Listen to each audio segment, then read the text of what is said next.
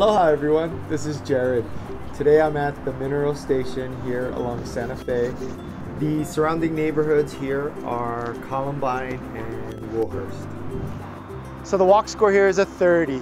Um, not as great as some of the others up north, closer to Denver, but we've got Jackass Hill Park and we've got South Platte River Park here. Some of the highlights over at Aspen Grove would be the Bistro, and you've also got Angelo's.